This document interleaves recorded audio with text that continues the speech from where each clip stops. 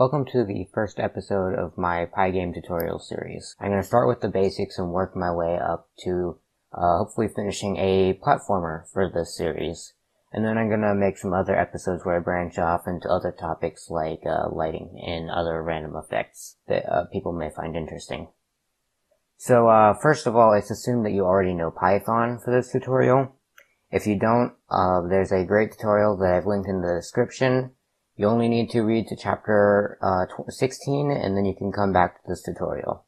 I'll also be using Python 3.4.4 for this tutorial. You can work with any version of Python 3 as long as you've already got Pygame installed. But for the installation part of this tutorial, I'm assuming that you're using a version of Python that comes with uh, pip installed, which is some of the newer versions of Python. So if you've got a new version, you should be fine. I'm also, obviously, assuming that you've already installed Python. So when you install Pygame, the first thing you're going to want to do is open up your command prompt. You can do this by pressing the Windows key and R. And then next you're going to want to type in CMD. You could also search for it on uh, your computer, and, but this is the quicker way.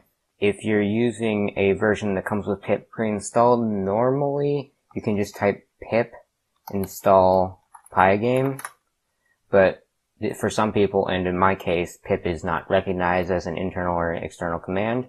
And what you do in this case is you navigate to your Python folder, which uh, I don't know where it is for you. You're going to have to find it yourself. Uh, but for me, should be um,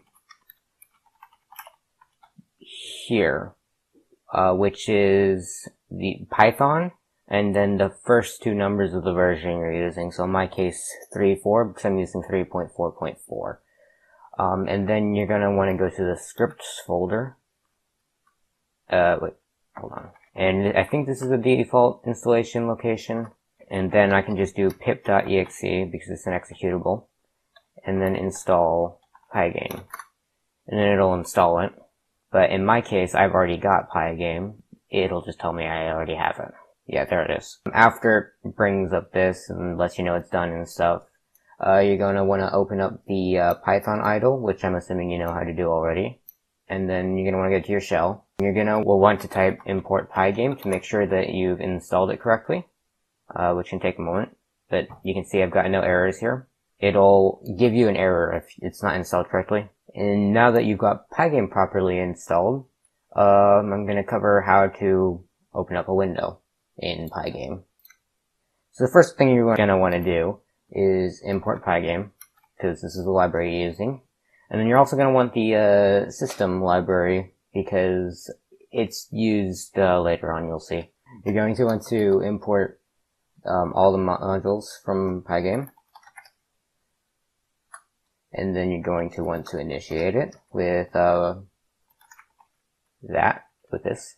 And then this is a comment you don't need to put up there. You're going to want to set your uh, variable with your window size. In this case, I'm just going to use a window that's 400 by 400 pixels.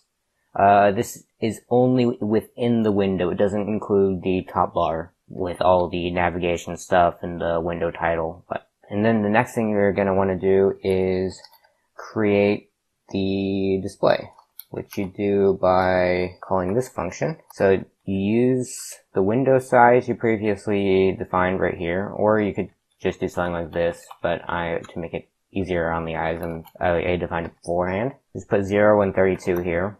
Um, I'm not going to talk about what those are right now. Since every game technically runs in a loop, you're going to want to create a loop right here. And this is just your uh, game loop. You're going to want to update the display. Now I'm going to write the event loop.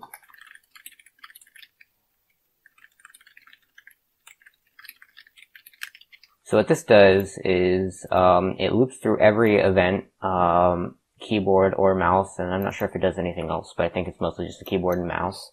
And then if the event type is quit, which is actually, this is one of the weird events. The quit event is when the X is clicked on the window that is for the, uh, Pygame process, I guess. I'm telling Pygame to, uh, quit right here if the X is clicked for, on the window.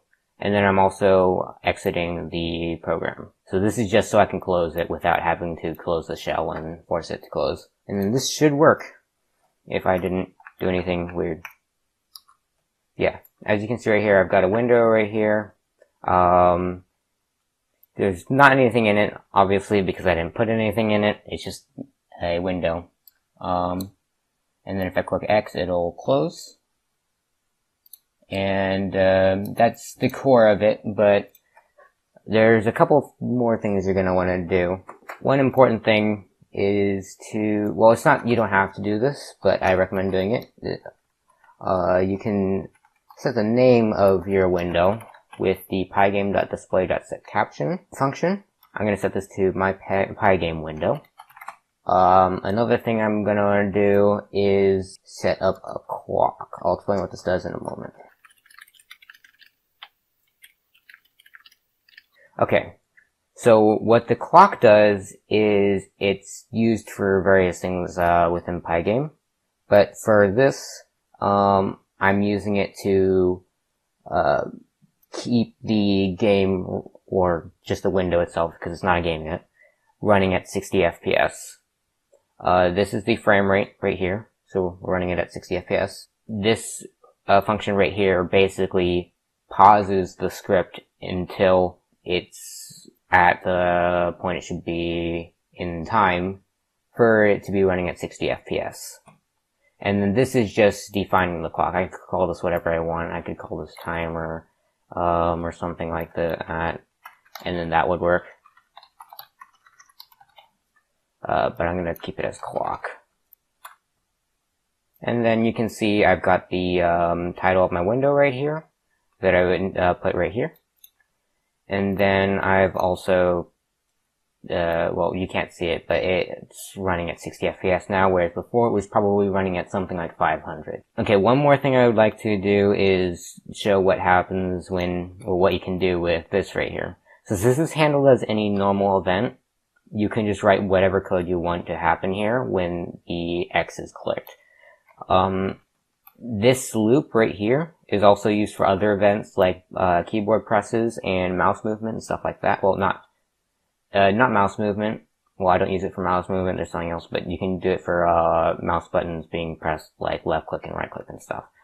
Um, and to show you what happens when you don't just close the window with this, I'm gonna write this. I'm gonna open the window and I'm going to bring the shell over here so you can see what the output is because that's where it's going to print to. Um, and then if I click X, it's to say I don't want to close. And I can just click it a bunch of times if I want. And then in this case, uh, you just click X on the shell and it'll close. But of course we don't want that. We want it to actually close. I'm going to leave it like that. That's the end of this tutorial. I'm going to be covering other things um, and hopefully in this tutorial series, I'll finish by having a full platformer game. Um, I'll also branch off into other useful tutorials, like maybe a star pathfinding, uh, shown in Pygame, uh, sh shadows, well, lighting, and other various things. Uh, yeah, that's pretty much it. I hope you enjoyed, and I hope you also check out uh, the future episodes.